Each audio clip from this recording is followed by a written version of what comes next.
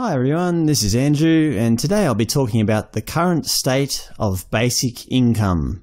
So first of all, let's define what basic income is. This is a definition I wrote last year.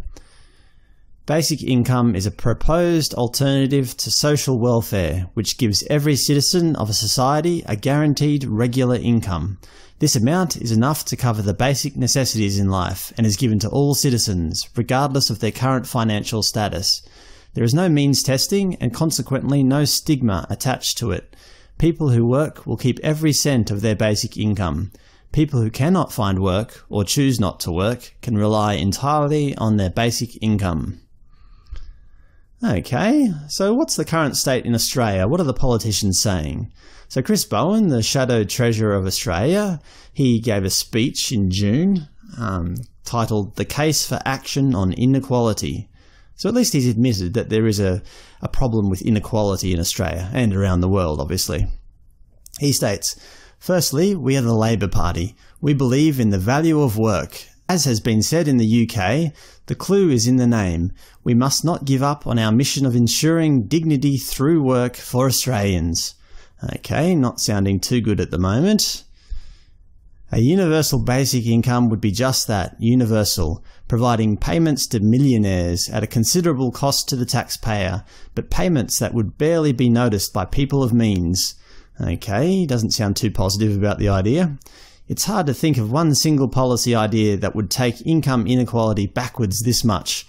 Okay, he clearly doesn't like basic in income. Making us even more unequal as a society, or delivering us an unsustainable tax system. Okay, Chris Bowen.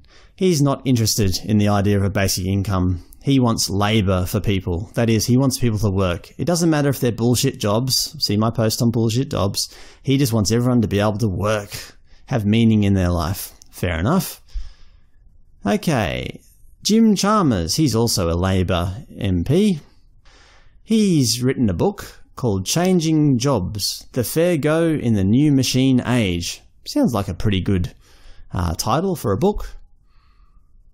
In his book he states, For someone with the imagination and resolve to make electric cars mainstream, send rockets into space, and plan for the colonization of Mars, Billionaire and tech entrepreneur Elon Musk is surprisingly simplistic and defeatist when it comes to the impact of technology on the labour market. Okay, so he's attacking Elon Musk. If Australia were to adopt a form of UBI, it would be a backward step. It would mean giving the same amount of government support to a high-level CEO as to a single mum struggling to keep food on the table. Okay, he's taking the Labor stance, similar to Chris Bowen. It would mean dismantling a system that ensures support goes to those who need it most. If it replaced the current system, it would actually increase inequality, not decrease it. Right, so he's all for not changing a thing. He's all for keeping everything exactly how it is because our system is obviously the most perfect system in the world. And I thought I'd better give Elon Musk a bit of a uh, retort. So he's the uh, CEO of SpaceX and Tesla Inc., as well as other companies.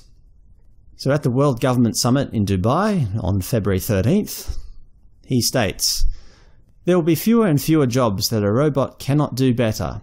I want to be clear, these are not things I wish will happen, these are things I think probably will happen.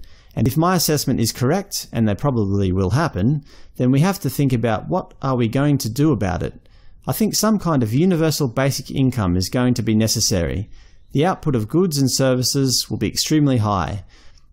With automation, there will come abundance. Almost everything will get very cheap. I think we'll end up doing universal basic income. It's going to be necessary. The much harder challenge is, how are people going to have meaning? A lot of people derive their meaning from their employment. So if there's no need for your labour, what's your meaning? Do you feel useless? That's a much harder problem to deal with.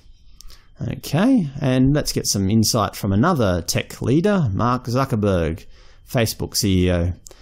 So at the Harvard, at his Harvard University commencement speech, this is May 25th, 2017, we should have a society that measures progress not just by economic metrics like GDP, but by how many of us have a role we find meaningful. We should explore ideas like universal basic income to make sure everyone has a cushion to try new ideas. As our technology keeps on evolving, we need a society that is more focused on providing continuous education through our lives. And yes, giving everyone the freedom to pursue purpose isn't going to be free. People like me should pay for it, and a lot of you are going to do really well, and you should too. Okay. So, what trials are currently taking place? Basic income trials. Well, in Finland, 2,000 people receive 560 euros every month for two years. Recipients do not have to report whether they are seeking employment or how they are spending the money. There have been reports of decreased stress levels and improved mental health. Ontario, Canada. Three-year project will give participants up to $17,000 for single individuals or $24,000 for couples less 50% of any earned income. Netherlands, six municipalities approved to proceed with two-year experiments, which will begin in September-October 2017, so that should be happening very soon, if not already underway. Glasgow, Scotland. The City Council has partnered with the think tank Royal Society of Arts RSA, to investigate designs for a basic income pilot. And finally, Hawaii, the first US state to pass UBI legislation. Well, there we go. That's the current state of basic income in Australia and around the world. As you can probably tell, Australia has a very backward mentality to this kind of thing. It's fairly usual in Australia. Politicians don't like to uh, rock the boat or change the status quo. They like to keep everything exactly how they are until, until something forces them. I'm sure if the rest of the world adopted a basic income, Australia would follow suit. Tech leaders, as you can see, are proponents of the idea. They come from a different place, though, than politicians do, don't they? One thing I noticed that all the people in my presentation were rich white people in general, weren't they? Um, I'm also white, but I'm not rich, so I guess I'm the, the other side of the coin. Anyway, that'll do us for today. If you have any questions about a basic income or any comments, please leave them for me in the comments section below. Until next time, thank you for listening. See you.